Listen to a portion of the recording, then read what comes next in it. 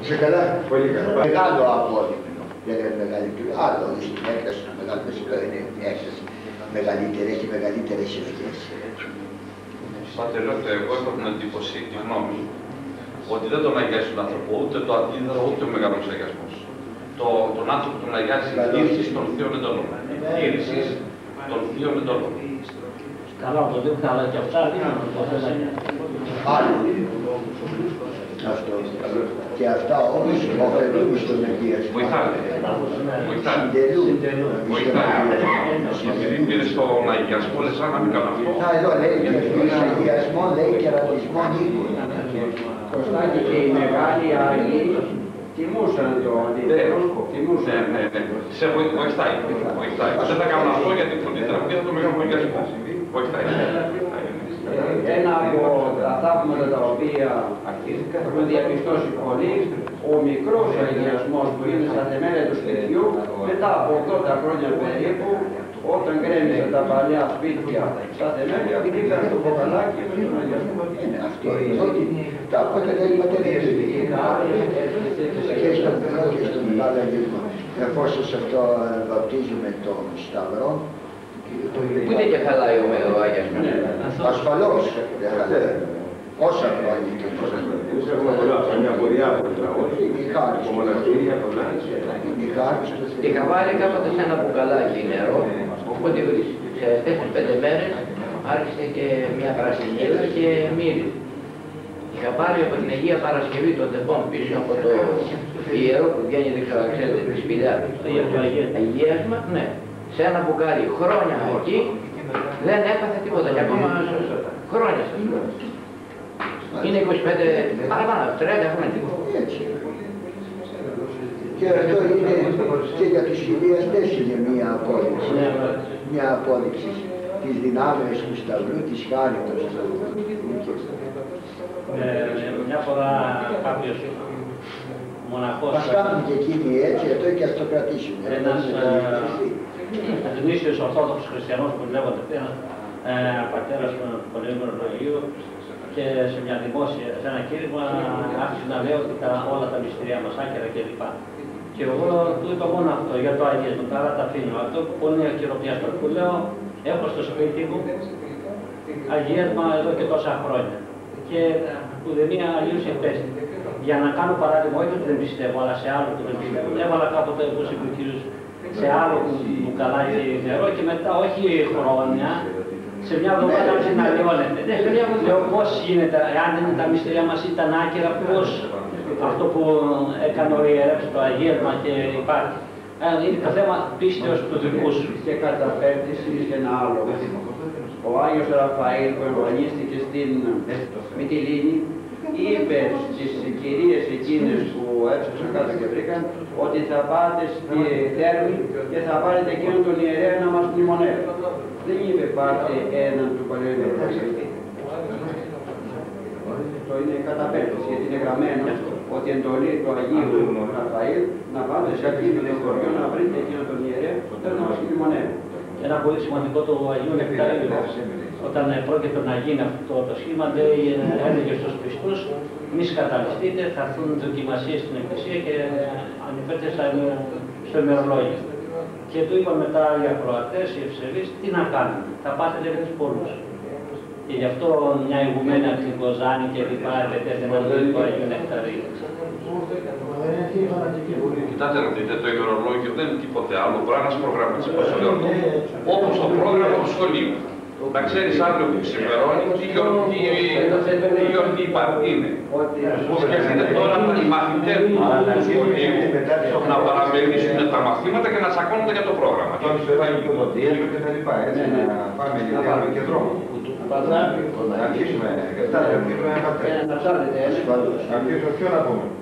δεν πάτε Το Θεοφανείο. Έτσι δεν είναι. 22 του μηνός Έτσι δεν είναι. Το Θεοφανείο. Τι 21 του μηνός είναι. Τι έχεις ορολόγιο. Το Γενάρη, το Α, μηνέα. Ό,τι θέλεις. πες το Θεοφανείο κάτι. Άλλωστε το ίδιο στο Θεοφανείο. Είπαμε τόσα Και πράγματα. εκεί έχουμε απόδοση. Εγώ έχω ένα θείο με τον παλαιό, μοναχό. Και δεν σε επιτρέπει να πας εδώ στην εκκλησία των Αγίων Πατρών πάνε, πάνε με το παλαιό. Για αυτή την εκκλησία. Ούτε στη- στο μοναστήρι του Ακακίου, γιατί δεν πάνε καλά. Κάποιοι δεν τις πάνε. Τώρα στα Παναγιώτα. Εάν ήταν εκ Θεού και αυτοί δεν θα γίνουν εκατό κομμάτια Κώστα. Μα αυτό είναι. Αυτή είναι με 7 παρατάξεις. Εάν ήταν εκ Θεού δεν θα συμμαχίζουν. Πώς είναι και είναι 7 παρατάξεις. Επεφάνιος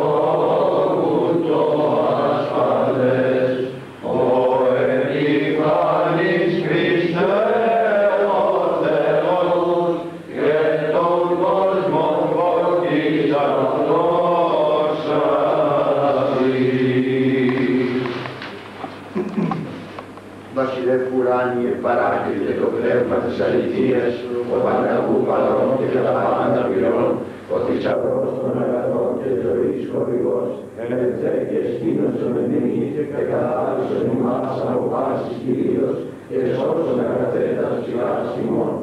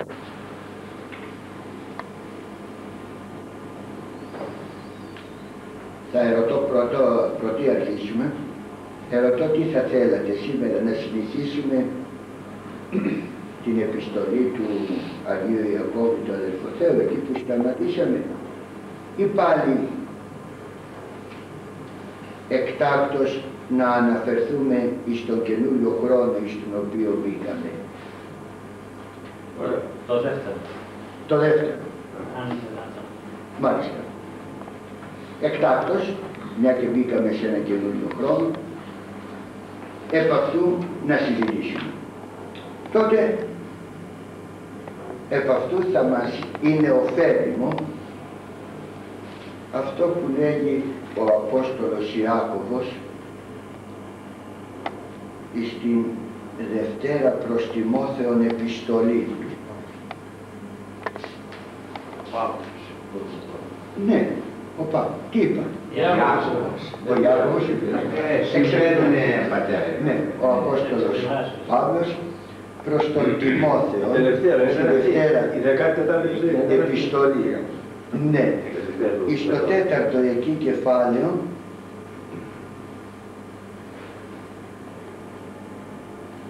στο τέταρτο κεφάλαιο της Δευτέρας προς Τιμόθεο επιστολής ο Απόστολος Παύλος δεν θα πω τα άλλα, έχει ωραία στο βέβαια, πολύ ωραία πράγματα λέγει. Εδώ, θα πάρω μόνο δύο στίχους. Από την Δευτέρα προς Τιμόθεο επιστολή του Αποστόλου Παύλου από το τέταρτο κεφάλαιο.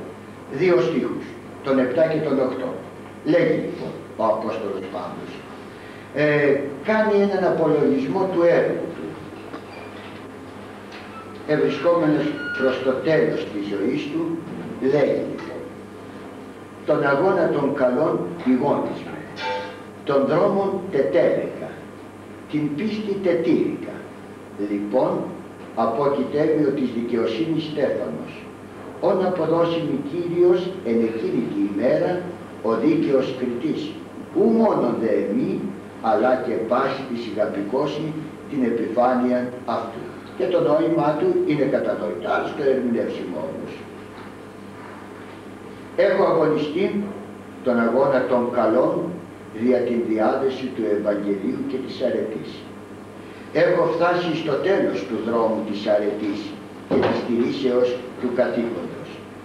Έχω διαφυλάξει την πίστη Λοιπόν, μου επιφυλάσσεται ο Στέφανος της νίκης, σαν βραβείο της δικαιοσύνης και της αρετής, τον οποίον θα μου δώσει ο Κύριος ως ανταμοιβή κατά την έντοξη μοίρα εκείνη της κρίσεως, ο δίκαιος κριτής, και θα το δώσει αυτό όχι μόνο εις εμένα, αλλά και σε όλους όσοι έχουν αγαπήσει και με πόθρον περιμένουν την ένδοξον εμφάνιση.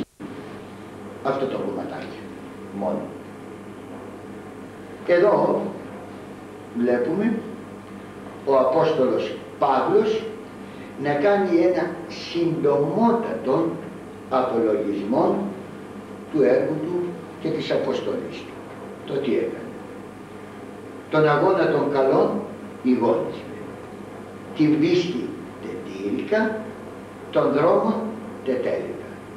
Δεν μένει τώρα τίποτε άλλο παρά της δικαιοσύνης στο στεφάνι το οποίο θα μου το δώσει ο δικαιοκρίτης Θεός κατά την ημέρα εκείνη της κρίσεως και όχι μόνο σε μένα αλλά και σε όλους εκείνους οι οποίοι εφήρμοσαν το θέλημα του Θεού και περιμένουν την ημέρα αυτή της Δευτέρας του παρουσία. Αυτό λέει ο Απόστολος Παύλος με λίγα λόγια. Και επί τη βάση αυτή του απολογισμού του Αποστόλου Παύλου και εμείς οι χριστιανοί ένα τέτοιο παρόμοιο απολογισμό πρέπει να κάνουμε στη ζωή μας. Αλλά όμως πότε να κάνουμε τον απολογισμό αυτό; Προς το τέλος της ζωής μας. Αυτό είναι λίγο δύσκολο διότι καταρχήν δεν ξέρουμε το τέλος της ζωής μας πότε έρχεται. Ουκ είδατε τη μέρα και ώρα ενή ο Υιός του ανθρώπου έρχεται. Ως κλέπτης ενικτή έρχεται λέει. Δεν ξέρουμε πότε έρχεται. Και για μας η ώρα του τέλους, η ώρα του θανάτου έρχεται ξαφνικά και μας βρίσκει απροετοίμαστος. Δεν μπορούμε επομένως να ξέρουμε πότε θα είναι προς το τέλος μας η ζωή μας, προς το τέλος, ώστε να μπορούμε να κάνουμε αυτό τον απολογισμό. Αλλά και κάτι άλλο. Εάν ξέρουμε, εάν ξέραμε ακόμη το πότε θα έρθει το τέλος αυτό, που όπως είπα είναι αβέβαιο. Αλλά και αν ξέραμε, θα ήμασταν εις θέση τότε να κάνουμε αυτό τον απολογισμό της ζωής μας. Ασφαλώς όχι. Διότι πολλές φορές ο άνθρωπος πριν από το τέλος τον βρίσκουν αρρώστιες τέτοιες που δεν είναι πλέον εις θέση να κάνει αυτόν τον απολογισμό. Διότι το ξέρουμε πολύ καλά, όταν γερνάει ο άνθρωπος, εκτός του ότι υπάρχουν και αρρώστιες που δεν θυμάται τίποτε, όπως είναι η μαλάκιση του εγκεφάλου, οπότε δεν ξέρει που βρίσκεται, δεν ξέρει ποιος είναι, δεν ξέρει τα παιδιά του, δεν ξέρει τα αδέρφια του, δεν ξέρει τίποτα, πολύ περισσότερο δεν μπορεί να ξέρει κάτι από την πνευματική του ζωή για να κάνει ένα τέτοιο απολογισμό. Εκτός αυτού και αν δεν πάθει κάποια τέτοια αρρώστια, στα γεράματα ο άνθρωπος όπως λέμε είναι στο μικρό παιδί, το χάνει λίγος πολύ, οπότε δεν μπορεί να κάνει κάτι τέτοιο. Αλλά και αν δεν είναι αυτό ακόμη, πολλές φορές ο άνθρωπος ε, εξαιτίας της αμαρτίας σκληρύνεται, σκληρύνει τον εαυτό του, ώστε δεν θα μπορούσε να κάνει ένα πνευματικό απολογισμό. Γι' αυτό λοιπόν είναι πολύ δύσκολο να πούμε ότι προς το τέλος της ζωής του μπορεί να κάνει ο άνθρωπος ένα τέτοιο απολογισμό πνευματικό όπως κάνει ο Απόστολος Παύλος. Ο καλύτερος χρόνος για ένα τέτοιο πνευματικό απολογισμό η καλύτερη περίοδος ας πούμε για ένα τέτοιο πνευματικό απολογισμό νομίζω είναι το τέλος κάθε χρόνο που φαίνεται ή η αρχή ενός νέου χρόνου που έρχεται.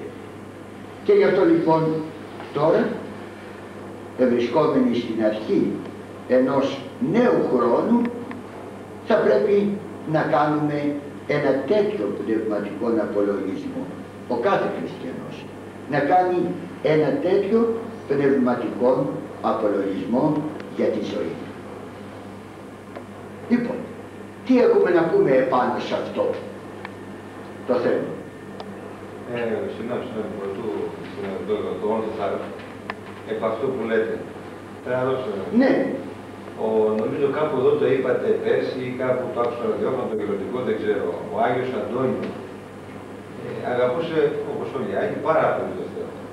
Το αποτέλεσμα λέει στην προσευχή του κάθε βράδυ, Ευχαριστώ που μου έδωσε τέτοια δύναμη και τέτοια αγάπη για σένα. Άραγε, ρωτούσε, θα υπάρχει άλλος άνθρωπος να σε αγαπάει τόσο πολύ όσο εγώ. Μέσω του Αγγέλου ο Θεός απαντούσε. Υπάρχει. Πάτερ Αντώνη, υπάρχει. Μα ποιος είναι; Βλέπεις κάποιον, λέει, γερά που πηγαίνει με το καροτσάκι, περνάει μπροστά από εδώ πέρα και βγαίνει στα χωράφια και γυρνά. Αυτός λέει κάθε βράδυ, μόλις γυρνάει στο σπίτι και κάνει προσευχή του, πρέπει να ξαπρώνει, λέει, τι έκανα σήμερα, Πού στεναχώρησα τον έναν συνάνθρωπό μου και ζητάει να τον ελύσω και να τον συγχωρήσω. Λοιπόν, να λοιπόν μια απάντηση που μας λέει, όχι μόνο τέλος του χρόνου, αλλά ή δυνατόν, ή δυνατόν, κάθε βράδυ, όταν πάμε στο κρεβάτι. Μάλιστα. Λοιπόν, κατόπιν αυτού, αυτό ήθελα να πω, μόνο αυτό.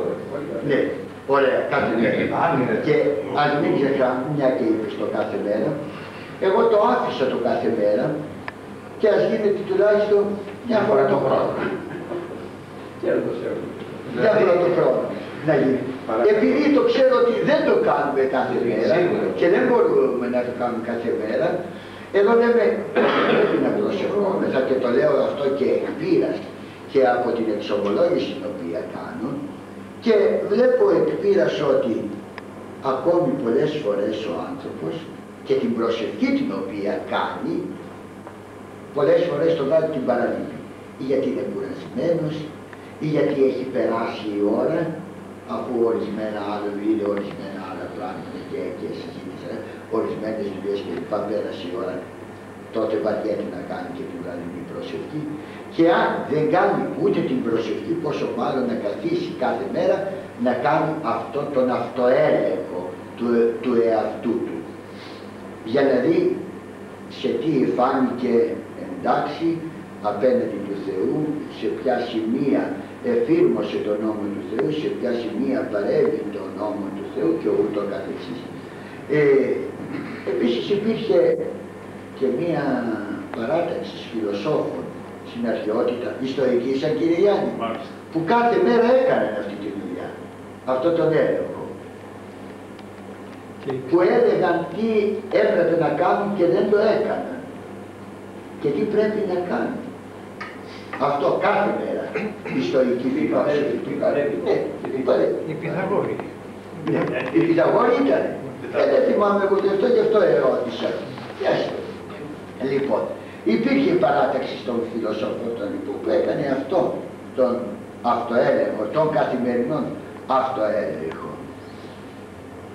Εμείς τουλάχιστον, λέω, δεν το κάνουμε κάθε μέρα. Έπρεπε όσο κάθε μέρα ε, εξετάζουμε τον εαυτό μας, τόσο καλύτερα είναι. Αλλά οι μέρημνες του βírου και οι φροντίδες της ζωής και το άγχος της ζωής ίσως δεν μας επιτρέπουν να ασχοληθούμε με αυτό το πνευματικό θέμα κάθε βράδυ. Τουλάχιστον όμως ας ασχολούμεθα μια φορά το χρόνο. Στο τέλος του παλιού χρόνου, στο τέλος του χρόνου που φεύγει ή στην αρχή του χρόνου που ανατέλει. Να το κάνουμε τουλάχιστον μια φορά το χρόνο. Ορίστε κύριε Ιωαννή. Ναι, εγώ ζήτησα. Α, Καλά. Έχω δύο παρατηρήσεις να κάνω στα όσα άκουσα μέχρι στιγμής. Με όταν ζητώ συγγνώμη και ύστερα να τα πω καθαρά. Το πρώτο, στην επιστολή του Αποστόλου Παύλου, δεν βρίσκεται λίγο εγωιστικό ότι εγώ έκανα ό,τι έπρεπε και δεν απομένει τίποτα από το να μου δώσει ο Θεός το στεφάνι. Και παρακαλώ να το δώσει και στους άλλους. Πώς το ξέρει ο Απόστολος Παύλος ότι θα πάρει το στεφάνι; Τη στιγμή που ο δίκαιος κριτής είναι άλλος. Και δεν πρέπει εμείς οι άνθρωποι ποτέ να λέμε ναι, εγώ έφτιαξα ό,τι έπρεπε να κάνω, συνεπώς δικαιούμαι το στεφάνι. Η δεύτερη μου παρατήρηση είναι του φίλου μου του Θανάση. Ότι ο Άγιος Αντώνιος κάθε μέρα έλεγε Θεέ μου, σε αγαπώ τόσο πολύ που δεν νομίζω πως σε αγαπάει άλλος. Ρωτούσε, άρα υπάρχει κάποιος άλλος άνθρωπος που Ναι. δεν αγαπάει τόσο πολύ όσο αγαπάω. Ναι. Και πάλι εγωιστικό. Πάλι εγωιστικό. Διότι αν ήταν δυνατόν ποτέ Άγιος όν να πέφτει σε τέτοια σφάλματα. Νομίζω ότι όλα αυτά και το πρώτο και το δεύτερο είναι ανθρώπινα σφάλματα τα οποία δυστυχώς τα γράψαμε και δεν θα έπρεπε να είναι γραμμένα και σήμερα να τα κουβεντιάζουμε. Ορίστε, να μην απαντήσω εγώ επειδή βλέπω χέρι, έλα κύριε Γιάννη. Να μείνω στο πρώτο μόνο. Ναι. Εδώ ο Απόστολος Παύλος σε καμιά περίπτωση δεν σκέφτεται εγωιστικά. Όχι στο συγκεκριμένο κομμάτι. Ακριβώς, σε αυτό ακριβώς το συγκεκριμένο. Ούτε μιλάει για την αρετή τη δική του. Απλώς... Αυτό είπε. Α- Αυτό διαβάσαμε τώρα. Ναι, δεν έχει κάτι Το άλλο. είπατε, περίπου, έτσι. Απλώς ε, αναφέρεται στο έργο της ζωής του που το ανέθεσε ο Κύριος και το οποίο ανέλαβε με τόση όρεξη του Ευαγγελισμού και το έφερε εις πέρας. Σε άλλη περίπτωση που μιλάει για τον εαυτό του λέει που δεν είμαι αυτόν σύνειδα, δεν με ελέγχει συνείδηση για τίποτε λέει. Αλλά ούκ εν τούτο δεν δικαίωμαι. Δεν είμαι δίκαιος για αυτό τον λόγο, Σφαιρά. Διότι ο, ο Κύριος είναι που με ανακρίνει ο δίκαιος κριτής. Αυτό αντιστρέφει το Συνεπώς, άλλο κομμάτι. Ναι. Σε άλλη περίπτωση το ένα, άλλη το άλλο. Ε, αλλήμον αν ο Παύλος ήθελε να δικαιωθεί με τα έργα του. Ε, τη σωτηρία τη δέχεται μόνο από τη σταυρική θυσία του Κυρίου. Ναι, ωραία. Επειδή ο κύριος Γιώργος λέει άλλο το ένα κομμάτι, άλλο το άλλο, προσθέτετε γιατί έτσι την, ε, αυτόν την πατάνε και οι χιλιαστές. Και έτσι μας παρασύρουν οι χιλιαστές. Ποτέ δεν πρέπει να απομονώνουμε, ποτέ δεν πρέπει να απομονώνουμε ορισμένα κομμάτια της Αγίας Γραφής και να τα παρουσιάζουμε μεμονωμένα αλλά πάντοτε εν συνδυασμό με άλλα τα οποία λέγεται. Έτσι, πάει αλλαιότερο ο Απόστολος Παύλος, όχι υπάρχει και αυτό και σε άλλο σημείο που καυκάται τον κατηγορούσαν οι Φαρισαίοι και λέει ότι Φαρισαίοι, εκείνοι Φαρισαίος και εγώ και λέει το τι είναι και όχι μόνο αυτό αλλά λέει και το τι έκανε και το πόσα υπέστη στα ταξίδια του για τη διάδοση του Ευαγγελίου, τρεις εναβάγησα λέει, Ναι. ε, πως τεσσαράκοντα παραμία έλαβα, εραβδίστη κλπ. κλπ. Δεν το κάνει από εγωιστικούς λόγους αυτό. Εκεί ας πούμε που μπορούσαμε να πούμε ότι το κάνει από ε, ότι είναι εγωιστικό και πάλι δεν μπορούμε να το πούμε ότι είναι εγωιστικό. Αλλά το κάνει αυτό για να αποδείξεις σε εκείνους οι οποίοι ε, ε, κατηγορούσαν τον Απόστολο Παύλο ότι δεν είναι πραγματικός ο παδός του Ιησού Χριστού, ότι δεν είναι γνήσιος Φαρισαίος κλπ. κλπ. Το κάνει για να τους αποδείξει ότι είναι και Φαρισαίος και ότι αγωνίστηκε για τον Ιησού Χριστό.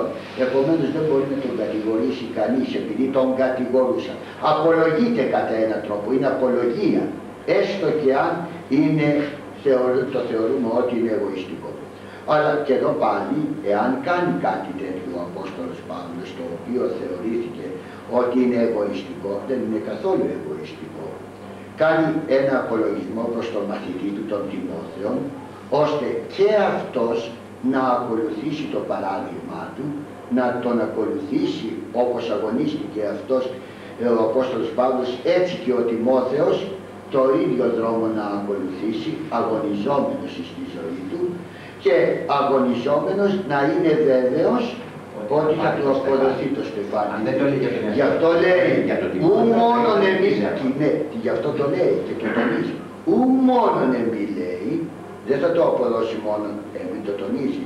Ου μόνον εμείς, αλλά και πάση τη σιγαπικώσει την επιφάνεια αυτού. Θα το δώσει και σε όλους. Έτσι κατά έναν τρόπο παροτρύνει, συμβουλεύοντας παροτρύνει τον Τιμόθεο να ακολουθήσει τον ίδιο δρόμο, τον ίδιο αγώνα. Δεν το κάνει από εγωιστικούς λόγους.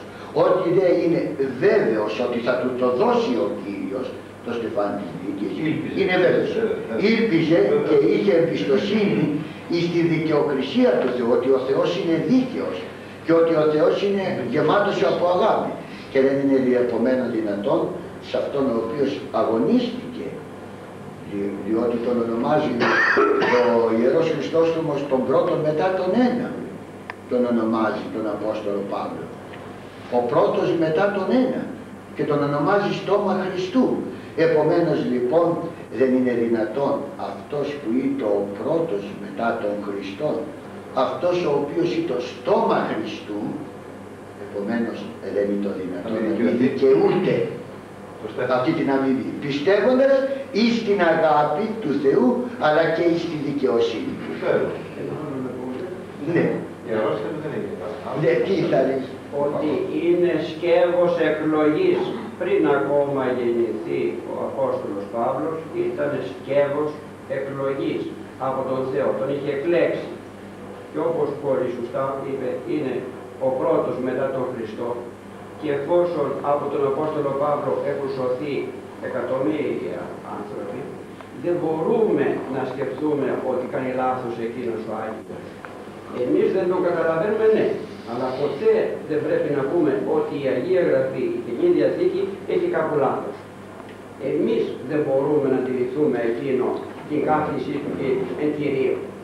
Σαν εγωιστή. Είναι, ε, είναι πέρα για πέρα αληθινό εκείνο το οποίο... Όμως θα μπορούσαμε να πούμε ότι εκείνη τη στιγμή η αδυναμία δεδομένου ότι είναι, ήταν άνθρωπος ε, μπήκε στη μέση.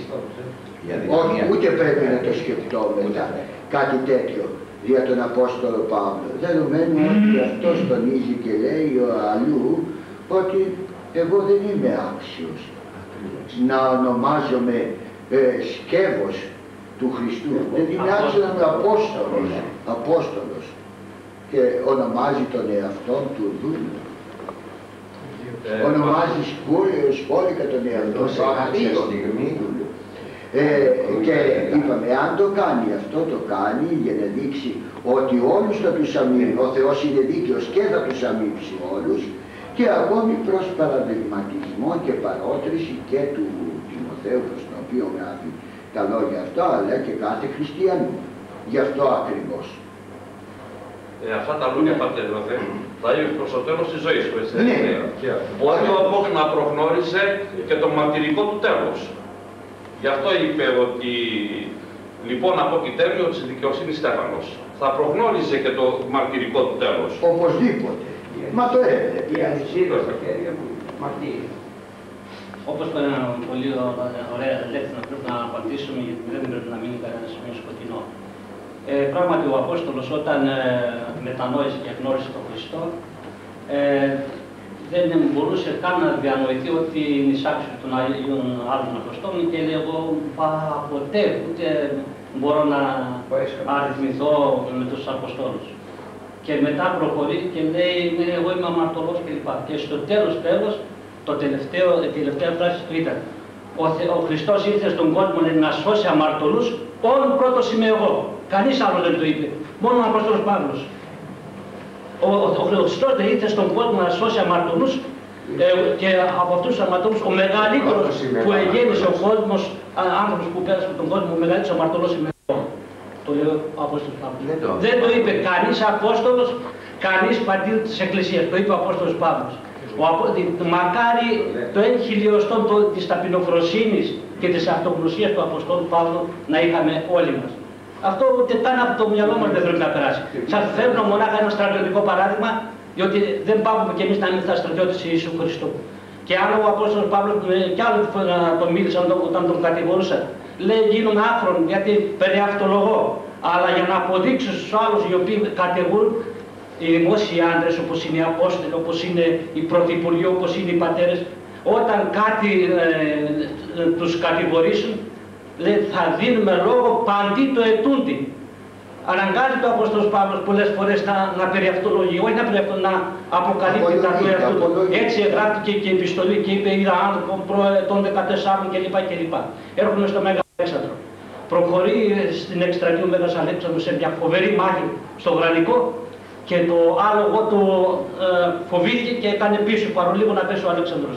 Κοιτάει εκεί ένας κρυμμένος στρατιώτης Μακεδόνας. Του λέει σήκω πατά. Και όπως συνηθίζεις στο στρατός σηκώνει ο στρατιώτης. Στρατιώτης τάδε τάδε τάδε. Ακούει Αλέξανδρος. Λέει Αλέξανδρος σε λένε. Δεν τρέπεσαι.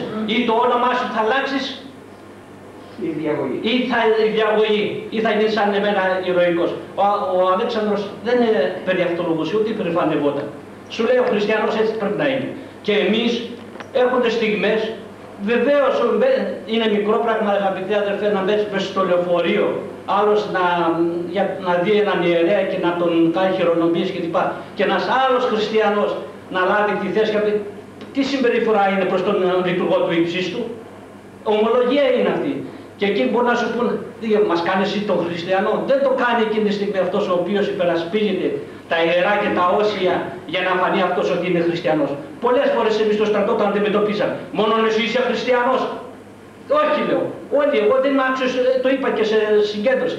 Ούτε το νοημάντα των υποδημάτων σας να λύσω. Αλλά δεν μπορώ να ανεχτώ να βρίσκεται ο Χριστός ή τα ιερά και τα όσια. Που συνέβη σε μια μεγάλη συγκέντρωση και πήραμε τον λόγο. Αν πότε θα φανεί η πίστη μας; Δεν το κάνουμε για να φανεί η πίστη μας. Εμείς είμα- είμαστε, εγώ τουλάχιστον σας το λέγω, κάθε βράδυ αυτό να- για να έρθουμε και στο αντικείμενο. Όταν εγώ κάθε βράδυ θα πάω να, να πω το Χριστό, Χριστέ μου, δόξα σοι, η οικογένεια καλά, τα παιδιά καλά, εκείνα καλά, καλά, εκείνα. Α, μετά κάνω έναν απολογισμό για πάνω στην προσευχή. Α, εκείνο που είπα στον εργαζόμενο δεν ήταν σωστό κλπ. κλπ. Είναι ένας αυτοέλεγχος, ζητώ συγγνώμη από το Θεό κλπ. Βεβαίως. Αλλά κατεξοχήν. Συγγνώμη όμως. Τι είπατε; Από τον ίδιο δεν πρέπει να ζητήσουμε συγγνώμη. Βεβαίως, κατά πρό- πρώτα από εκείνο. Αλλά εκεί ασφαλώς είπαμε και, το- και τη δύναμη.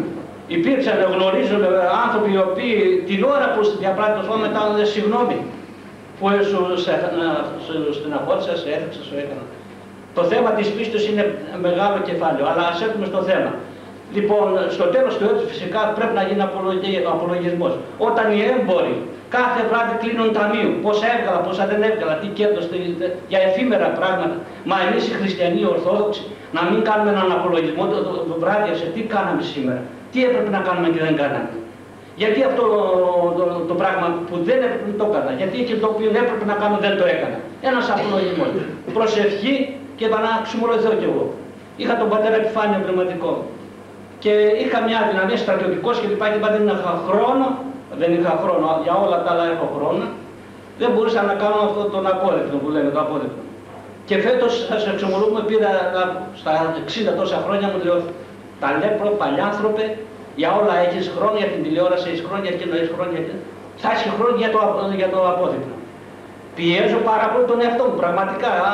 Αν διάφορα και όλες απόψεις, είσαι κουρασμένος, απόψεις ε, πήγες εκεί ε, και λέω όχι εκεί. Ε, χρειάζεται εγρήγορση, χρειάζεται αγώνα εναντίον όχι των συνανθρώπων μας, αλλά εναντίον του παλιού εαυτού μας. Να κάνουμε απολογισμό, να παίρνουμε καινούριε αποφάσεις, να ζητούμε την δεξί τους βοήθεια και πολύ περισσότερο φυσικά στο τέλος του έτους να γίνει το απολογισμός, να, να παίρνουμε καινούριε αποφάσεις και να λέμε εδώ θα μπεις στη γραμμή κανόνας είναι ο Χριστός, δηλαδή είναι χάρακας. Έναν ε, δρόμο ε, χάραξε ο Κύριος με το τίμιο αίμα του.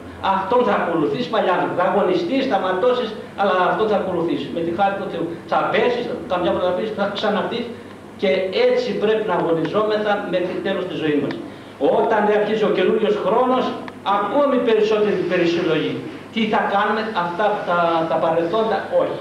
Νέα, νέος δρόμος, ε, με βάση των πατέρων, βάση του Ευαγγελίου και αγωνιστούμε όλοι μαζί, χέρι-χέρι, όπως είμαστε εδώ μια ομάδα, να βαδίσουμε το δύσκολο δρόμο του Θεού. Ε, άκουσα απόψε με κάτι εκπομπές. Όλοι κάνουν θράση σατανιστές είχε ο Παπαδάκης χθες και από σήμερα και στο στρατό και στις, ε, παντού, παντού δεν υπάρχει κοινωνία και μέρος που να μην δρούν και ε, κάνουν θράψη αυτοί. Εμείς οι Ορθόδοξοι Χριστιανοί σταυρωμένα τα χέρια ε, τι πρέπει να κάνουμε; Τι πρέπει να κάνουμε; Αυτό που γίνεται ακριβώς αυτό εδώ πέρα. Να φέρουμε ο καθένας αν μπορούμε και δεύτερον και τρίτον να οργανωθούμε, να μελετούμε τα συγγραφάς. Έχουμε τους πατέρες να μας καθοδηγούν όπως πολύ ωραία μας καθοδηγούν ψηλά τη σημαία του Χριστού. Με ποιον τρόπο εδώ το ζητούμενο είναι αυτό, με ποιον τρόπο; Λοιπόν, Γιατί πολύ όλα, εκεί, αυτά που λέμε, είναι μεγάλη σήμερα. Όλα αυτά που λέμε εκεί αποβλέπουν. Να εξοπλιστούν. Μα όταν τώρα τόσα, τόσα λέω πατήρ, ε, και εμείς όλοι εδώ που προσφέρουμε, ο καθένας βάζει το, ε, το λιθαράκι του, αυτό λέμε. Εγώ είμαι σαν, σαν οικογενειάρχη, θα μου είμαι ανήσυχος από αυτά που έχω ακούσει. Και ε. ζητάω συγγνώμη και ταπεινά, ζητάω κάποιος να μας καθοδηγήσει. Ο καθένας μας με τον δικό μας τρόπο λέμε κι αν είναι λάθος αυτό που θα κάνουμε. Καταρχήν, καταρχήν δίδω απάντηση σε αυτό το θέμα, ότι ξεφεύγουμε του θέματος. Είναι όμως επίκαιρο, Πατριό, ξεφεύγουμε του θέματος. Ανησυχεί πολύ κόσμο. Κατά δεύτερον τρόπον, υπάρχουν άνθρωποι για να ερωτήσουμε. Έχουμε λάθος, είναι σωστό αυτό που κάνουμε ε, είναι σωστό αυτό που θα κάνει και λοιπά. Υπάρχει, υπάρχει καταρχήν ο πνευματικός. Γι' αυτό υπάρχει ο πνευματικός. Και αν είσαι πνευματικός άνθρωπος, εάν είσαι άνθρωπος που πιστεύεις στην καθοδήγηση του πνευματικού, εκεί θα καταφύγεις, στον πνευματικό σου. Θα τον ερωτήσεις, γέροντά μου, πάτερ μου, ε, σκέφτομαι αυτό να κάνω, έκανε αυτά, είναι σωστό αυτό, είναι σωστή η ενέργειά μου, είναι λάθος, ήρθα να με συμβουλεύσετε, ήρθα να μου πείτε, λοιπόν υπάρχει ο τρόπος. Δεν μπορούμε να το πούμε σαν για αυτούς οι οποίοι δεν έχουν καμία σχέση με πνευματικούς, αυτές τις εκπομπές που βλέπουμε στην τηλεόραση και λένε ποιος και ποιος, ποιος θα με καθοδηγήσει, η κοινωνία κλπ. κλπ. Για το χριστιανό υπάρχει ο γέροντας, καταρχήν και πάνω από το γέροντα υπάρχει ο Χριστός, υπάρχει το θέλημα του Θεού. Πάει. Ανοίγουμε την Αγία Γραφή και διαβάζουμε ποιο είναι το θέλημα του Θεού. Καταφεύγουμε στο γέροντα και ζητούμε τη βοήθειά του. Ζητούμε ποιο να μας καθοδηγήσει σε εκείνο που θέλουμε να κάνουμε ή να μας υποδείξει αν είναι σωστό αυτό που θέλουμε να κάνουμε ή αυτό που κάνουμε. Αυτό υπάρχει. Να πάρουμε συγκεκριμένα ετέθη στις, ε, κοπέλες, στις, στις κοπέλες που είναι αξιωματικοί του υγειονομικού. Δεν θα παντρευτείτε για να έχετε άστρο, για να έχετε προαγωγή, για να εξελιχθείτε μισθολογικά. Και εκεί περιπτώσει παντρευτείτε δεν θα τεχνοποιήσετε. Αυτές μόλις το διάβασαν αυτό, είπαν τι γίνεται εδώ πέρα, νομοθετής, αφύσικα πράγματα. Ρώτησαν τον γεροντά τους και τους είπε, θα πάτε στο σπίτι σας δεν θα συμφωνήσετε να με παντρευτείτε. Δεν θα συμφωνήσετε με το να μην κάνετε παιδιά. Ήρθε σε σύγκρουση το ατομικό συμφέρον, η προαγωγή και ο νομοθέτης που το έχει κάνει αυτό είναι να βρει τις καλογριές.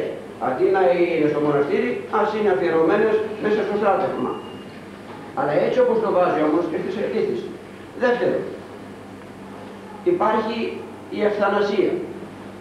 Εκείνη που είναι για τους πολλούς άχρηστοι να τους κάνουν τη νύχτα μια ένεση και να τελειώνει γρηγορότερη η ζωή τους.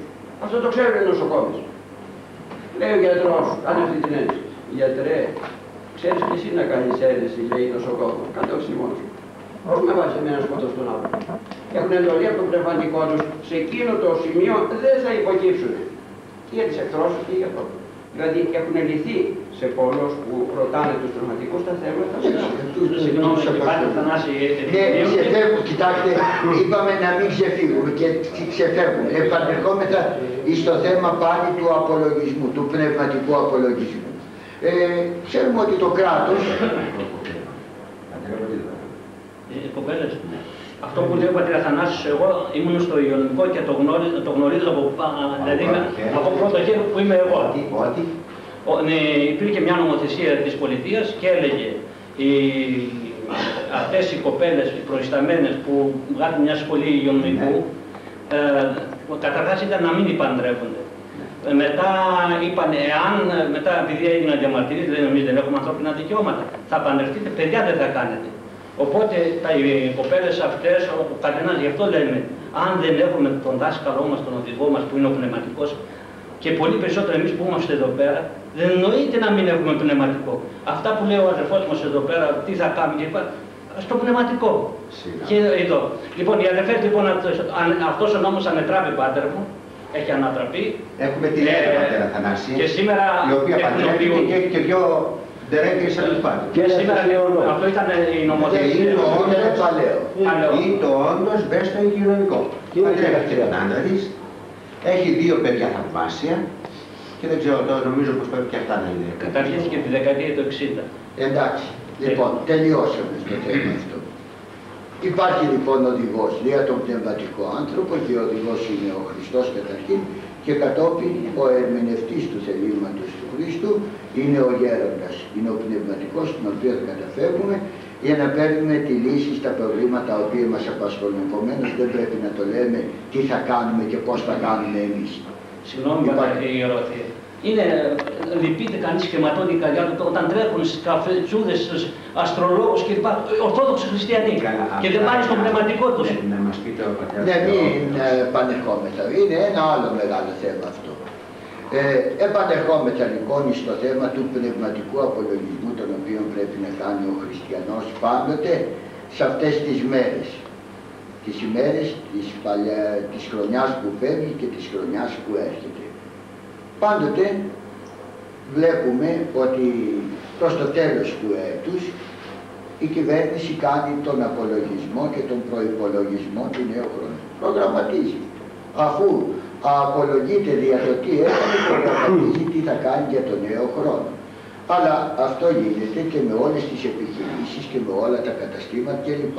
Πρώτη, δεύτερη μέρα του χρόνου ή και τρίτη ανάλογα κάνουν μια καταγραφή, απογραφή των εμπορευμάτων που υπάρχουν και κάνουν έτσι έναν απολογισμό της χρονιάς που πέρασε, αν κέρδισαν, αν έχασαν και κάνουν ένα προϋπολογισμό, ε, εν, ας πούμε προϋπολογισμό, καταρτίζουν Ένα το πρόγραμμα. πρόγραμμα της χρονιάς που έρχεται. Που έρχεται. Τι θα κάνουν ή για να μεγαλώσουν την επιχειρήση, την επιχείρηση ή για να κερδίσουν περισσότερα από εκείνα που κέρδισαν ή αν έχασαν την περασμένη χρονιά να προσπαθήσουν να κερδίσουν και ούτω καθεξής.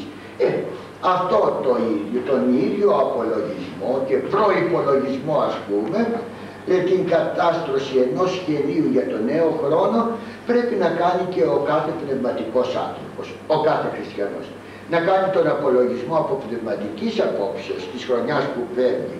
Όχι τι κέρδισε, αν κέρδισε, όχι αν πήρε καινούριο αυτοκίνητο ή δεν πήρε, όχι αν έφτιαξε σπίτι ή έκανε προστίκη στο παλαιό, όχι αν ε, τακτοποίησε τα παιδιά κλπ και πώς θα κάνει ώστε με το νέο χρόνο να τακτοποιήσει τα πράγματα καλύτερα, να πάρει καλύτερο αυτοκίνητο, να χτίσει μεγαλύτερο σπίτι ή να πάρει καινούρια επίπλωση ή δεν ξέρω τι, να πάει στείλει σε περισσότερα φροντιστήρια τα παιδιά κλπ.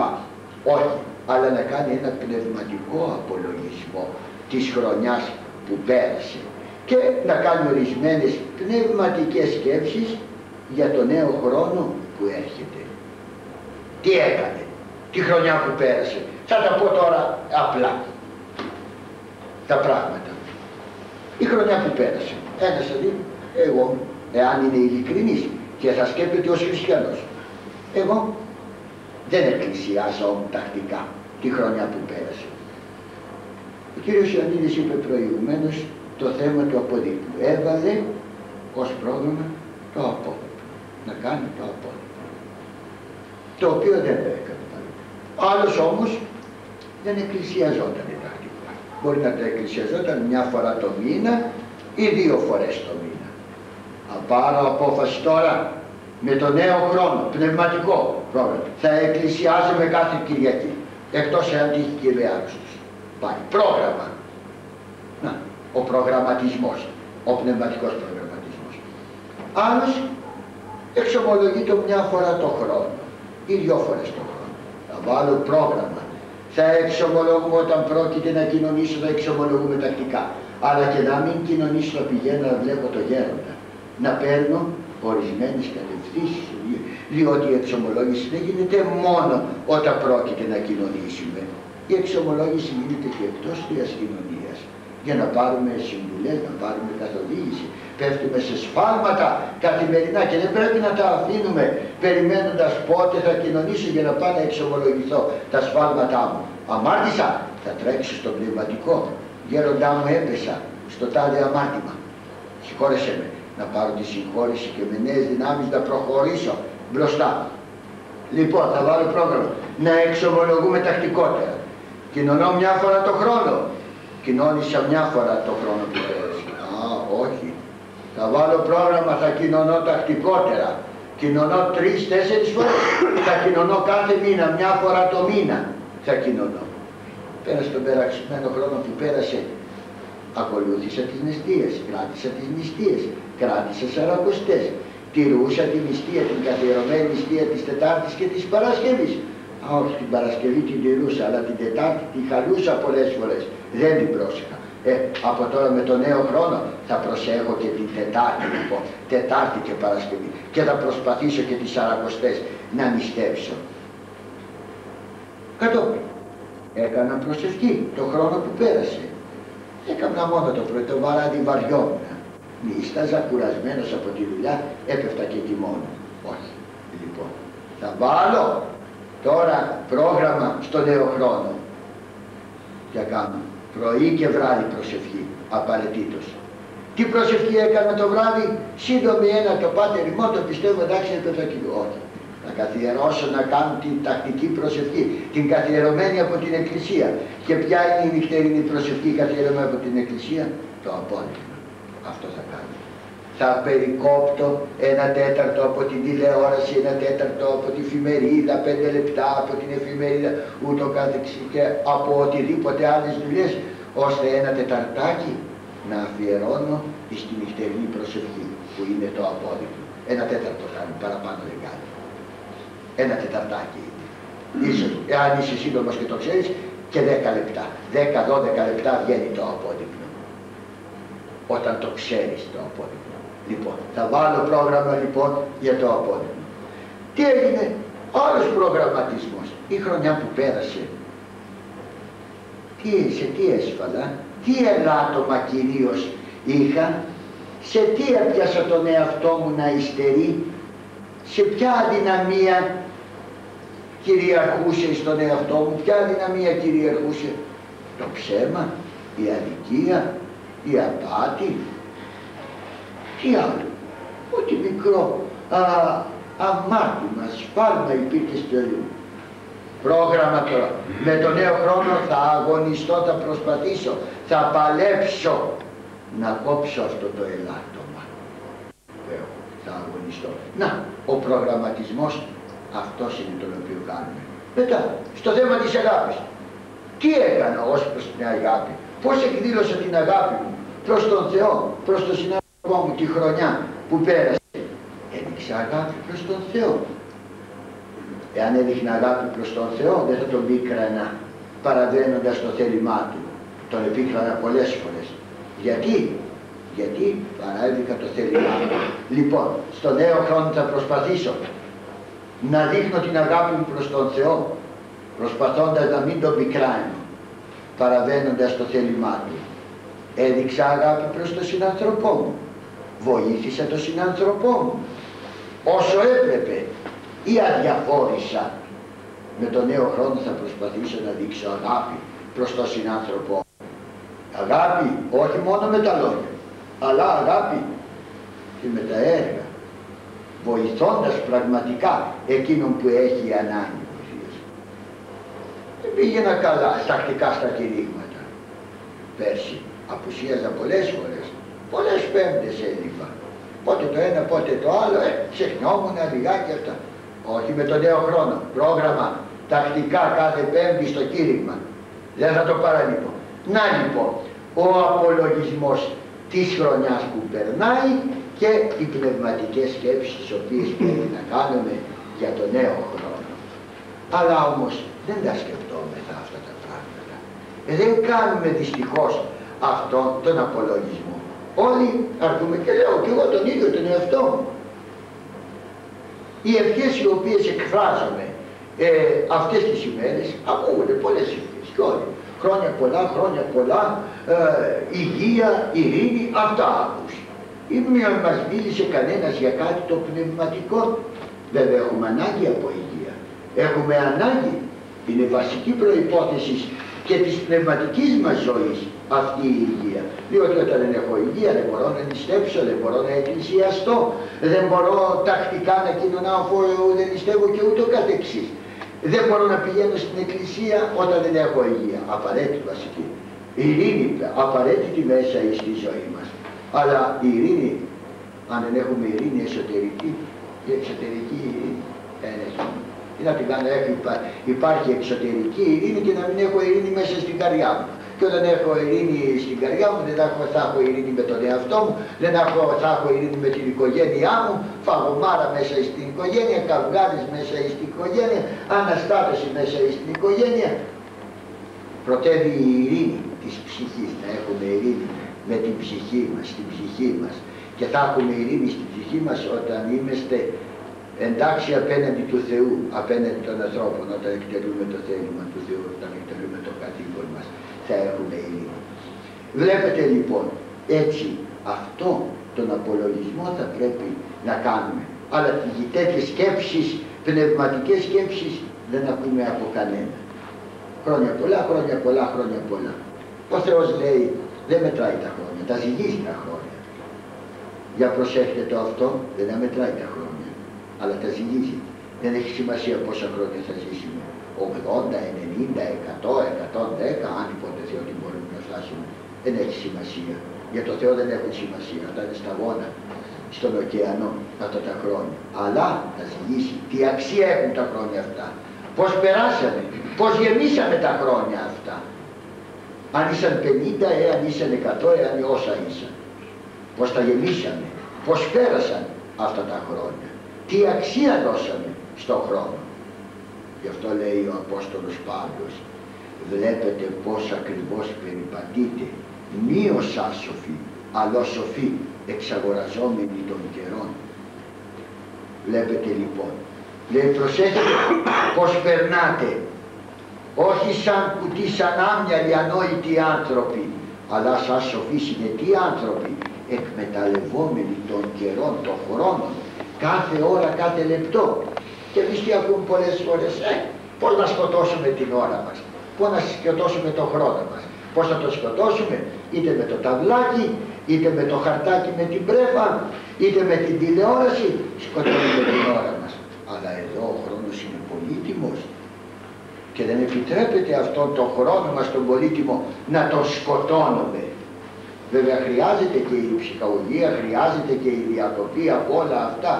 Μπορεί να παίξεις και ένα τάβλι, μπορεί να κάτσεις και στην τηλεόραση να δεις κάτι βασικό, κάτι σπουδαίο, αν μπορούμε να το δούμε βέβαια σήμερα και αυτό έτσι όπως έχει καταντήσει η τηλεόραση, έτσι όπως είναι η τηλεόραση. Αλλά πρέπει να μην αφήνουμε το χρόνο να περνάει ανεκμετάλλευτος, να μην αφήνουμε την ώρα να χάνεται έτσι χωρίς να κάνουμε κάτι ωφέλιμο για τον εαυτό μας, για την ψυχή μας και κατόπιν ωφέλιμο και χρήσιμο και για τους άλλους. Να λοιπόν, πως πρέπει να περνάμε τον καιρό μας και τις σκέψεις πρέπει να κάνουμε στο τέλος ενός χρόνου που φεύγει και ενός χρόνου που ανατέλει. Αυτές οι πνευματικές σκέψεις πρέπει να κυριαρχούν στο νου κάθε αληθινού χριστιανού.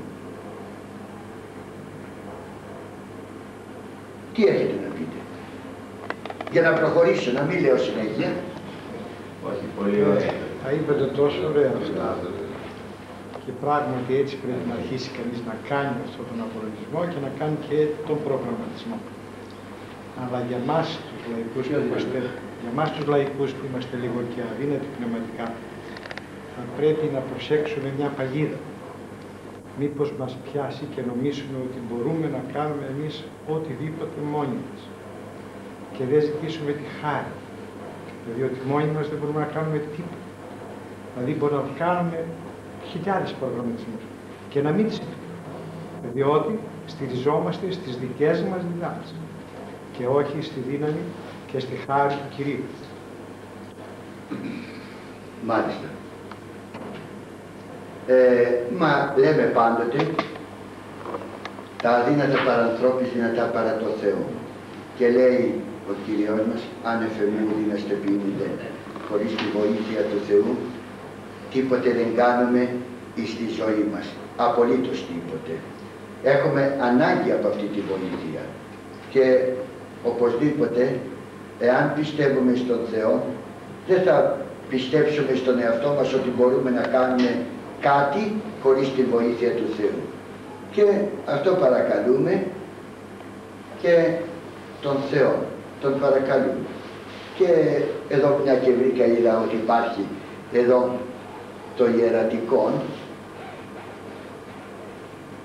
Έχουμε την ευχή η οποία διαβάζεται την πρώτη του έτους στους ναούς, στη δοξολογία η οποία γίνεται. Να σας τη διαβάσω για να δείτε γιατί παρακαλάμε τον Θεό. Κύριε ο Θεός ημών, ο καιρούς και χρόνους εν τη ιδία εξουσία θέμενος, ο άναρχος και ατελεύθυτος και επέκεινα παντός χρόνου νοούμεν ώστε και υπάρχουν, ο πάσης εκτός μεταβολήστε των όντων και αλλοιώσεως, ο τον πάντα χρόνο τόντε γεγονότα τόντε όντα και των εσώμενων πληρών, ο εν τη αφάτους μακροθυμία καταξιώσας ημάς εις νέων εν ιαυτόν εισερθήν, αυτός Πανάγαθε Δέσποτα. Την είσοδον ταύτην τη Θεία Σου χάρητη ευλόγησον. Τον παρακαλούμε να ευλογήσει αυτή την είσοδό μας στο νέο χρόνο. Και παρακαλούμε, όμπρους ειρηνικούς προς καρποφορία τη γη δόρισε, τους αέρας υγιεινούς και ευκράτους ανθρώπης και κτίνης κατασκεύασον, δώσει μην εν ειρήνη και ομονία βεβαία των κύκλων αυτού διετσί. Το στεφάνου της δόξης των αρετών κοσμουμένους, το φωτί των εντολών σου ευσχημόνος ως εν ημέρα καλός οδεύοντας. Την Αγία Λιμών Εκκλησία καλώς διαφύλαξε. Το ευσεβές ημών έθνος τη δυνάμει σου κρατέωσε. Τους άρχοντας ημών και των στρατών την κρατεά σου χειρή στερέωσαν και κράτημα. Την νεότητα παιδαγώγησαν το γύρας περικράτησαν, τους εσκορπισμένους επισυνάγαγε, τους πεπλημανημένους επανάγαγε και σύναψον τη Αγία Σου Εκκλησία.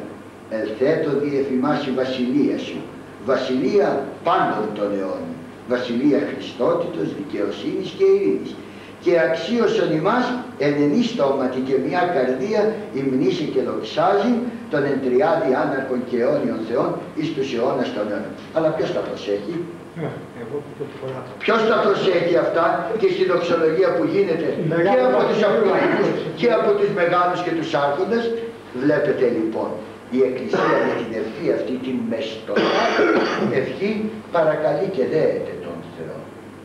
Παρακαλεί και δέεται για όλους. Για την Εκκλησία, για τους άρχοντες, για τον στρατό, για τον λαό, για όλους. Για την καρποφορία της γης, ώστε να ζήσουν και οι άνθρωποι και τα κτίνη και τα κτίνη αναφέρει ακόμη τα ζώα. Από τα οποία ζούμε πολλές φορές. ασφαλώς. Για τα πάντα. Κατόπιν για ειρήνη για ομόνια, για ενότητα για όλα μιλάει η ευχή. Μες στο κάτι η ευθύνη. Επειδή ξέρουμε ότι εμείς οι άνθρωποι δεν είμαστε μόνοι μας εις θέση να φέρουμε εις πέρα σε αυτό το έργο, γι' αυτό ακριβώς επικαλούμεθα τη βοήθεια του Θεού και παρακαλούμε τον Θεό να ευλογήσει το νέο έτος, να ευλογήσει αυτό το έτος και να μας δώσει όλα αυτά τα οποία ανέφερα προηγουμένως στη συνευχή. Αλλά δεν τα προσέχουμε.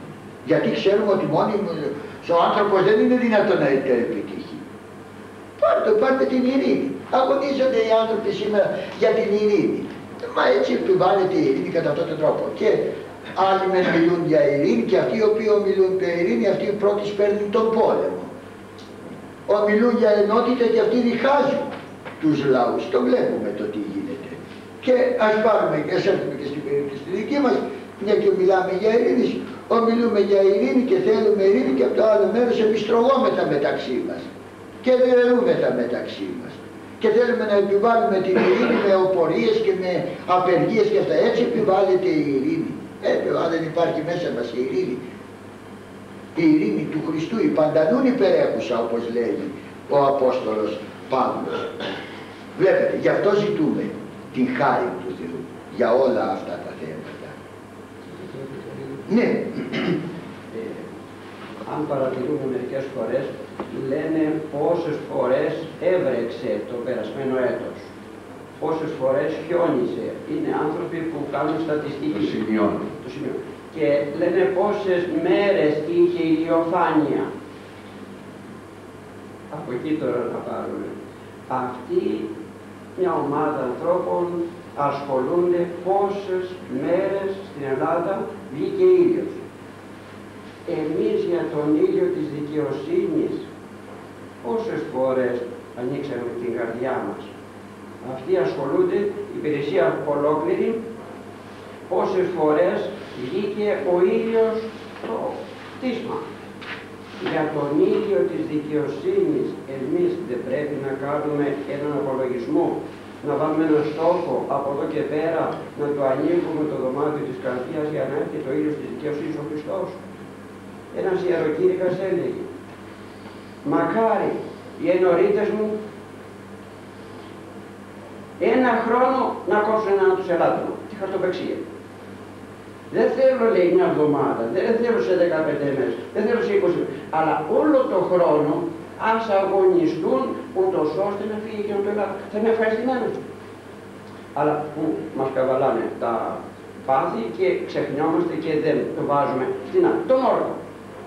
Σε όλο το χρόνο να βάλουμε στόχος να μην ορκιστούμε. Να μην το σκεφτούμε, να μην βλαστημίσουμε, να μην κλέψουμε, τόσα πράγματα. Μπορεί να μας Κύριε Βαλή. διαφορήσει και ο Διαβασέλης. Τον υπόλοιπον χρόνο της ζωής ημών εν ειρήνη και μετανία εκτελέσε. Παρά του Κυρίου Ετσό. Κάθε πρωί η Μητέρα Εκκλησία, δύο φορές με τουλάχιστον το Μεσογειακό, στον όρθιο στη Θεία Λειτουργία, μας λέει τον υπόλοιπο χρόνο της ζωής ημών. Έρχεται το εσπέρας, την εσπέραν πάσαν τελείαν Αγίαν Κυριακή και Ραμάτων παρά τον Κύριο Εξόμεθα. Δώσε μας Κύριε αυτό το χρόνο να έχουμε μετάνοια. Έτσι. Και δεν θα έχει σημασία. Πολλοί λένε «Ε, έχουμε καιρό, έχουμε καιρό και για αυτά έχουμε καιρό να σκεφτούμε και για όλα αυτά. Ε, έχουμε καιρό.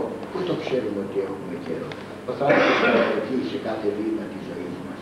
Δεν ξέρουμε πότε έρχεται ο θάνατος. Δεν πρέπει ποτέ να αναβάλουμε την πετάνειά μας, την επιστροφή μας προς το Θεό. Δεν πρέπει να αναβάλουμε την τελειοποίησή μας, την όσο το δυνατόν τελειοποίησή μας, δεν έρθουμε πιο κοντά στο Θεό. Έχουμε καιρό σου λέει, έχουμε καιρό. Δεν έχουμε καθόλου καιρό. Γιατί περνάει ο καιρός χωρίς να το καταλαβαίνουμε. Και λέμε πότε γέρασα μωρέ, πότε ακόμη πήγαινα σχολείο. Μωρέ, πότε παντρεύτηκα εγώ και έκανα και παιδιά και εγγόνια τώρα, πότε, πότε. Πώς πέρασαν τα χρόνια. Περνάει ο καιρός. Πολύ εύκολα, χωρίς να το καταλαβαίνουμε. Και ανέφερα προηγουμένως και είπα ότι ο Θεός ζυγίζει τα χρόνια. Δεν τα μετράει σε έκταση. Δεν έχει σημασία πόσα χρόνια θα ζήσουμε. Σημασία έχει πώς θα τα ζήσουμε αυτά τα χρόνια. Και θα αναφέρω ένα παράδειγμα αυτό. Την πρώτη του έτους γιορτάζουμε τη μνήμη του Αγίου Βασιλείου. Είναι πολύ ωραία τοποθετημένη η ορτή του Αγίου Βασιλείου στην πρώτη του έτους. Ο Άγιος Βασίλειος όταν έφυγε από τη ζωή αυτή δεν ήταν ένας γέροντας όπως τον παρουσιάζουν, θέλουν τον παρουσιάζουν με κατάλευκα γένια και μαλλιά. Δεν έχει καμία σχέση. Γελιοποιούν έτσι το πρόσωπο του Αγίου Βασιλείου. Ο Άγιος Βασίλειος ήταν 49 ετών όταν έφυγε από τη ζωή αυτή.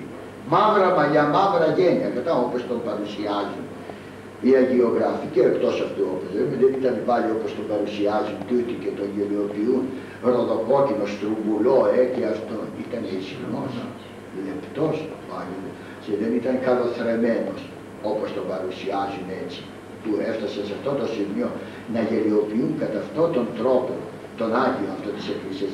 Έζησε 49 χρόνια λοιπόν ο Μέγας Βασίλειος και τι δεν έκανε όμως αυτά στα 49 χρόνια, τι δεν έκανε. Και τι δεν έκανε. Και τι δεν έκανε. Όχι μόνο για τον εαυτό του αλλά και για την κοινωνία, για τον εαυτό του. Πανεπιστήμον ο Μέγας Βασίλειος. Σπούδασε θεολογία, σπούδασε φιλοσοφία, σπούδασε αστρονομία, σπούδασε μαθηματικά, σπούδασε και ιατρική ακόμη. Στην εντέλεια αυτά, όχι οι πασαλήματα που λέμε, λίγο απ' όλα, όχι. Ήταν σχεδόν πανεπιστήμων ο Μέγας Βασίλειος. Ε, γνώστης της Αγίας Γραφής, τέλειος γνώστης της Αγίας Γραφής, Παλαιάς και Κοινής Διαθήκης, ασκητικός τύπος. Ο ίδιος ε, πήγαινε τακτικά σε μοναστήρια και έμεινε σε μοναστήρια και προτού γίνει κληρικός ακόμη, έμεινε επί πολύ χρόνο σε μονή, σε ασκητήριο. Ασκήθηκε, με άσκηση πέρασε, με προσευχή και εκτός αυτού ας δούμε και το κοινωνικό του έργο, ένα έργο τεράστιο, μια βασιλιάδα. Τι ήταν η βασιλιάδα; Η βασιλιάδα ήταν πόλη ολόκληρη. Ήταν ένα τεράστιο συγκρότημα από φιλανθρωπικά ιδρύματα γυροκομείο, πτωχοκομείο, ορφανοτροφείο, σχολεία, ξενώνες για τους ξένους περαστικούς, λογοκομείο και τι δεν υπήρχε σε αυτή τη βασιλιάδα; Και τι δεν υπήρχε, πόλη ολόκληρη. Υπολογίζεται λέω ότι ε, ανήρχοντο τα άτομα που υπήρχαν στην Βασιλιάδα πάνω από 20.000. Μια παιανία ολόκληρη ήταν η Βασιλιάδα. Ένα, ένα, τεράστιο, ένα τεράστιο κοινωνικό έργο. Μάλιστα σε αυτά του τα χρόνια, στα 49 του χρόνια. Πόσο λοιπόν εκμεταλλεύτηκε τον χρόνο, τα λίγα αυτά χρόνια και πόσο μεγάλο ήταν το έργο το οποίο έκανε. Και η οικογένεια από την οποία προήλθε ήταν οικονομικός ανθυρή. Βέβαια, ανθυρωτάτη. Και Έτσι, ανέδειξε, η ανέδειξε πόσους Αγίους. Εχθές εορτάσαμε τον Άγιο Γρηγόριο Επίσκοπο Νίκης, ο οποίος ήταν αδελφός του Μεγάλου Βασιλείου. Επίσης, ένας Πέτρος, ε, επίσκοπος και αυτός, επίσκοπος Σταυρομενίας ή του, επίσκοπος λοιπόν και αυτός. Ε, η αδελφή του η Μακρίνα, Οσία και αυτή, Αγία. Ένας ακόμη αδελφός του, ιατρός, Άγιος και αυτός. Η μητέρα του. Όλη η, οικογένεια. η μητέρα του, όλη η οικογένεια, όλη η οικογένεια. Αγίασαν λοιπόν. Τέσσερα αδέρφια αγόρια Άγιοι της οικογένειας και η αδερφή τους η Οσία Μακρίνα. Ευκατάστατη βέβαια, πλουσία οικογένεια, Άγιοι. Αλλά και ένα ακόμη άλλο παράδειγμα α, αναφέρεται για τον χριστιανό ποιητή τον Βερίτη ο οποίος νεαρότατος απέθανε και ο οποίος ήταν πνευματικός άνθρωπος, χριστιανός, πραγματικός χριστιανός εργάστηκε όχι μόνο για τον εαυτό του, για τη σωτηρία της ψυχής του, αλλά και για τους άλλους. Και επάνω στον τάφο του ε, εχάραξαν ένα στάχι. Το στάχι το ξέρετε, το στάχι. Το στάχι, το οποίο λέει ήταν πολύ μεστομένο και έγινε από το μέστομα που είχε από τον βάρος τόσο πολύ ώστε να αγγίζει στη γη. Και συμβολικό αυτό. Από κάτω έγραφε. Λίγα μεν αλλά μεστομένα τα χρόνια της ζωής του. Λίγα αλλά μεστομένα, καρποφόρα και αποδοτικά. Που δείχνει ότι ο Θεός δίνει σημασία όχι στα χρόνια μας αν είναι πολλά ή λίγα, αλλά το πώς ζούμε τα χρόνια αυτά, τα πώς περνάμε τα χρόνια αυτά. Και στα λίγα χρόνια ο άνθρωπος καλείται να κάνει πολλά πράγματα. και για τον εαυτό του και για την οικογένειά του και για τους άλλους. Και όταν πιστεύει στον Θεό και είναι εμποποτισμένος με την πίστη και την αγάπη προς τον Θεό θα επιτύχει πολλά πράγματα. Χωρίς την πίστη όμως προς τον Θεό δεν κάνει απολύτως τίποτα. Ναι. Επειδή λες για τον χρόνο που πρέπει να το εκμεταλλευτούμε, διηγούνται τα πατερικά ότι ένας μοναχός προς το τέλος της ζωής του καταλάβαινε ότι θα πεθάνει, του έκανα συντροφιά η άλλη παρηγορία και μεταξύ των άλλων που τους συμβούλεψε, τους μεθετούσε, τους έλεγε φέρτε τον μου πίσω. Του είπανε τον εσταυρωμένα θέλεις, όχι τον έχω, φέρτε το μου πίσω. Το Ευαγγέλιο θέλεις, όχι αυτό το έχω, φέρτε το μου πίσω. Ποιο, το χρόνο που πήγε στα χαμένα. Όσες μετάνιες έκανε, έπιασαν τόπο. Όσες προσευχές έκανε, έπιασε τόπο. Παρηγοριά αυτά. Το χρόνο, τον καιρό, τις ώρες που πήγε στα χαμένα, ζητούσε να τα αξιοποιήσει. Ούτως ώστε να μην του πει ο Θεός ότι σ' άφησα τόσα χρόνια και δεν εκμεταλλεύτηκες και την τελευταία στιγμή. Μα λέει και ένας ποιητής, διακόπτω, ένας ποιητής, ή ο Λαπατιώτης είναι ο Καβάφης. Και λέει σε ένα βιβλίο ότι κλαίω τα χρόνια που πήγαν χαμένα. Κλαίω τα χρόνια που πήγαν χαμένα. Τα χρόνια εκείνα που ήταν μακριά από το Χριστό, μακριά από την αλήθεια. Και όταν ήμουν λαϊκός είχα πάει σε ένα εξομόλογο και είχε πάει άλλος πιο μπροστά, έκλεισε η πόρτα, ήταν η σειρά μου και έως ότου μπω μέσα, ο πνευματικός είχε το μικρό Ευαγγελιάκι και κάτι έψαχνε να βρει. Δηλαδή δεν χασμουρήθηκε. Δεν είπε ας σταυρώσω τα χέρια ώσπου να έρθει ο άλλος, αλλά κάτι έψαχνε από το Ευαγγελιάκι του. Και μου έκανε εντύπωση πόσο ένα λεπτό θα έκανε να φύγει στο χέρι ο άλλος και να φύγει και να βρω εγώ ένα μισό λεπτό. Σε εκείνα τα δύο λεπτά είχε το Ευαγγελιάκι του και έψαχνε κάτι να θυμηθεί, να βρει που δεν άφησε εκείνο το χρόνο. Είναι πολύ ε, ενισχυτικό ότι δεν άφηνε εκείνο το χρόνο να περάσει χωρίς καρπό. Ένας αρχιμανδρίτης σε ένα συνέδριο είχε πάρει μαζί του πατερικό βιβλίο και αφού τρώνε οι σύνεδροι έχουν μια μισή ώρα, δύο ώρες ε, ελεύθεροι έπαιρνε το πατερικό βιβλίο και το διάβαζε, το ερμήνευε, ζητούσε και από τους άλλους. Δεν ξάπλωσε να πει τώρα έχω και εγώ ραχάτι, αλλά πόσο θα ήταν, μια μισή ώρα, δύο ώρες. Είχε πάρει μαζί του το βιβλίο, το πατερικό, για να κάνει και από εκείνη την ώρα να εκμεταλλευτεί και την ώρα. Μου φέρνει εντύπωση. Μαζί ο Έτσι είναι. Η εκμετάλλευση, η καλή εκμετάλλευση, η σωστή εκμετάλλευση του χρόνου από πνευματικής απόψεως. Ε, νομίζω ότι είπαμε πάρα πολλά και σήμερα είναι κυρίως μονόλογος ας πούμε. Λοιπόν, πάρα πολλά είπα εδώ.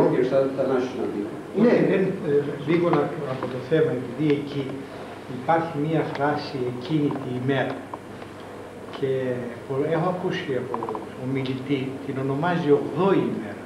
Βέβαια κάπου τα μπέρδεψα. Ε, εννοεί τη μέρα της κρίσεως. Ναι, το λέει και στην ερμηνεία το λέει. Αλλά έρχεται τώρα και μια άλλη απορία, γι' αυτό ήθελα κάτι να μας πει αυτό. Βέβαια για την 8η ημέρα είναι η ημέρα η οποία θα... Η μέρα την οποία περνάμε. Θα περνάμε τότε που δεν θα υπάρχει μέρα πια. Δεν θα είναι 7, θα είναι 8. Καλά, είναι η 8η μέρα η οποία θα ακολουθήσει μετά την κρίση πλέον. Αλλά εδώ το στεφάνι αυτό θα δοθεί την ημέρα εκείνη που μπορεί να περάσουν και 20 και 30 και 100 αιώνες. Δεν το ξέρουμε πόσο θα περάσουν. 100 αιώνες μπορεί και γεγονός όμως είναι ότι πρόκειται περί μέρα της κρίσης. Ναι. Οπότε θα ε, έρχεται η απορία την οποία θα αποδώσει κάθε προβάλλουν πολύ ερετική σε αυτό, ενώ αλλού γι' αυτό απομονώνουν, απομονώνουν συνήθως. Και λένε, βλέπετε, ε, θα είναι και κοιμημένος μέχρι την ημέρα της κρίσης, όποτε θα έρθει. Δηλαδή θέλουν να πούνε ότι δεν θα τιμηθεί αμέσως μετά το θάνατό του. Α, μάλιστα. Όχι, κοιτάξτε να δείτε. Εδώ ε, βέβαια, άλλο, είναι ένα άλλο μεγάλο θέμα. Αλλά μια και δείτε αυτό, ε, η Ορθόδοξη Δογματική λέει ότι ε, μετά τον θάνατο, όπως λέει πάλι βάση και όπως τον Παύλο, απόκειται της ανθρώπης άπαξ αποθανή μετά δε τούτο κρίσης, μετά το θάνατο ακολουθεί η κρίση. Ε, λέει λοιπόν η δογματική μας ότι μετά το θάνατο αμέσως ακολουθεί η μερική κρίση, κρίνεται μερικά ο άνθρωπος. Με, δηλαδή ε, προγεύεται είτε τα αγαθά τα οποία θα απολαύσει στην, μετά την γενική κρίση είτε τα κακά τα οποία θα απολαύσει μετά την αιωνία κρίση για της αιωνίου καταδίκης. Ε, κατά την τελική κρίση, την οριστική κρίση που θα γίνει κατά τη Δευτέρα παρουσία, θα γίνει η οριστική κρίση. Και ο άνθρωπος θα απολαύσει στην τελειότητα τα αγαθά τα οποία προγευόταν προηγουμένως, ενώ ο κακός θα απολαύσει στην ολοκλήρωσή του την τιμωρία πλέον. Είναι ένα μεγάλο θέμα να μην επισέλθουμε. Ε, ευχόμεθα λοιπόν τώρα μετά από όλα αυτά για να σταματήσουμε κιόλας, γιατί αρκετά πήγε και ο Θανάσης ίσως να αντιμονεί. Ε, έχουμε έχω το από χάσει παντού, δεν πειράζει, ας πάμε μέχρι τις 10. Ε, σε 9 δεν πρόλαβα να πάει, να πάω στα σήμερα. Προλαβαίνεις, έχω εγώ Ε, Όχι, προλαβαίνει, εγώ να μην με εγγύες σε νοιάζει για μένα. Εντάξει, το συνεχίσουμε. Τελειώσαμε. Λοιπόν, να το κλείσουμε.